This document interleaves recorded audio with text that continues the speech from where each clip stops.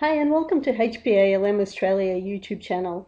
Today we're going to show you how to do exploratory testing with HP Sprinter 11.5.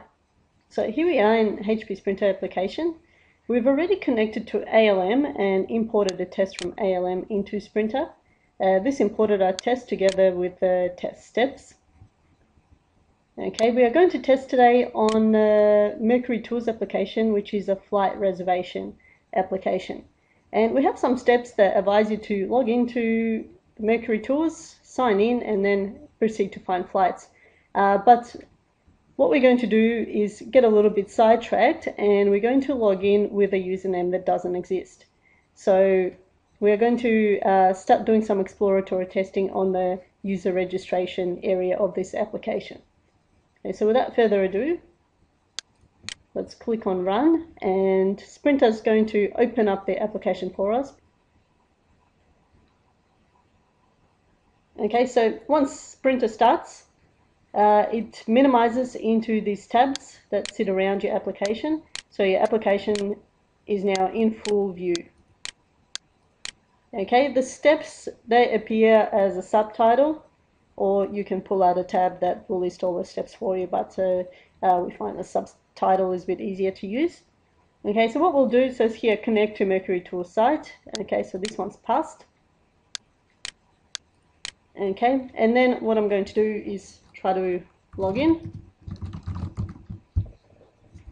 Okay, so I couldn't exactly log in and this doesn't give me an expected result, but I'm not going to fail this because it's not really an error uh, with the application. It's just the test it was expecting the user to already be registered. Okay, so uh, we'll go to the registration form. So now we get sidetracked and we'll create a new user. Okay, so there's quite a few fields to fill out. So what I'm going to do is utilize the data injection facility here. Okay, so these have some pre-populated data with uh, the data fields mapped to the, my particular fields on form. Uh, this actually comes from an Excel spreadsheet. Okay, so we've loaded this Excel spreadsheet into Sprinter and we can now access the data here. Okay, so we'll try a few scenarios. Um, this one here, we've actually purposely, um, for the purpose of demonstration, uh, made this particular credentials already exist in the system. So um, the username already exists. Okay, so I'm going to inject the data into the form. And as you can see, everything populates nicely for me here. Uh, once I click submit, I get an error. It says username has already been used. Please enter a new name. So I'll pick another name. I'll pick another variation of this. Again, click to inject.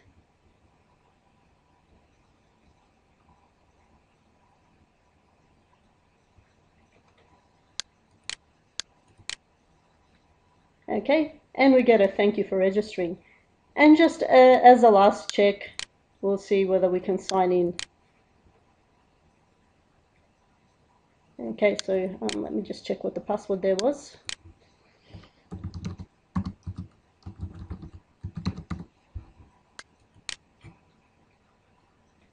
Okay.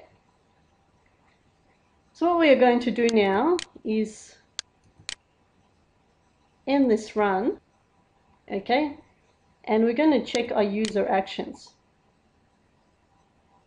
Okay so Sprinter has actually recorded all the actions that we've done up to this point. Okay and as you can see these look very much like the steps of the test. So in order, so for example, if I find a defect during the exploratory testing, in order to retest that, I might actually save this as a test or as a set of instructions for someone else to follow, or even for myself to follow when I'm retesting this. So what I'm going to do is generate a test out of those user actions that have been recorded.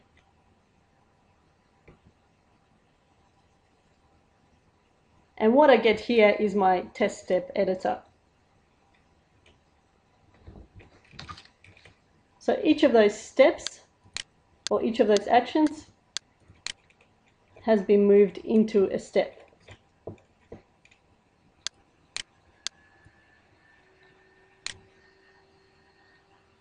Okay, I can give this, uh, I can edit the name, so I can say log on with non existent username. Okay, this is where we go to the registration form. We might want to remove this step, wait for page to synchronize. This was just something that was recorded as part of a, as, as part of user actions. Okay, make Windows Explorer active, so we can delete that. Don't really need that. So all the steps up to here is where we try to enter an existing user.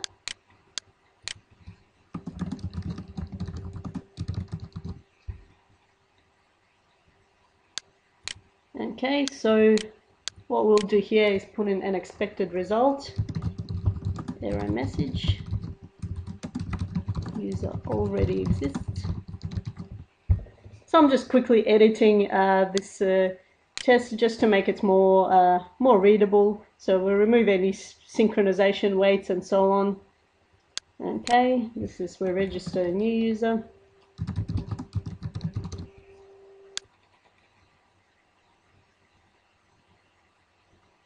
Okay, and then so when we click on register, user successfully added. And then when we log in, our expected result is so test new user here. Our expected result is login was successful. Okay. And there's a whole bunch of other things we can do. We can add some steps, remove some steps, etc., edit the fonts, but uh, um, we'll just leave it as is at the moment. Okay. What we are going to do is uh, provide some test details. So uh, register a new user test. So again, here we can provide the description, same as you would do in ALM. Uh, we've got the mandatory fields that have been set up by the project.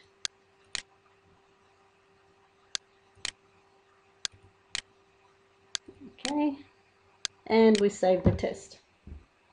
So now Sprinter again connects to ALM and it's loading the test plan tree view for us now. Um,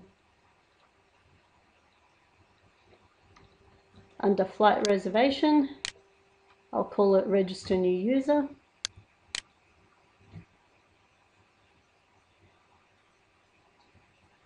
And now I've got a message that the test has been successfully generated. So if I go into my ALM interface and refresh here, we'll go into the folder where we saved our new test and you can see register new user. Is here. The design steps.